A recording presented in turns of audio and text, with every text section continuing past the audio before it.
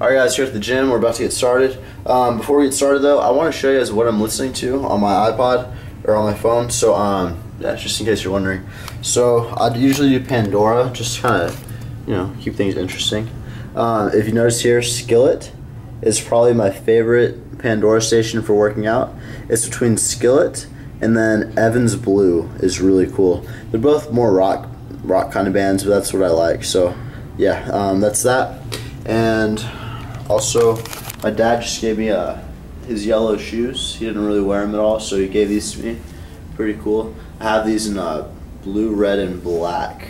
So it's kind of cool to have yellow. Um, if you're hating on yellow, there's actually been scientific studies that show that yellow brightens everyone's mood and energizes people. So don't hate on yellow.